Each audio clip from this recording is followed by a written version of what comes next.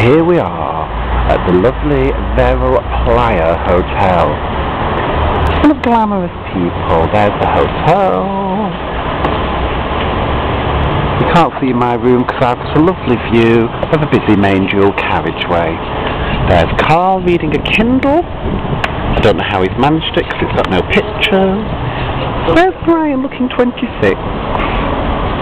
And there's Lee trying to pretend he's not with us. Nothing with your own proper policy. Try to ignore the staff account.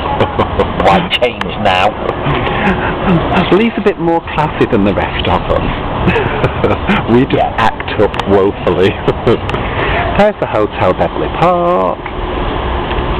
There's the little pool. And that's about it. A bit later on we'll do a small video of the waiter who's quite handsome. And I think he wants me to marry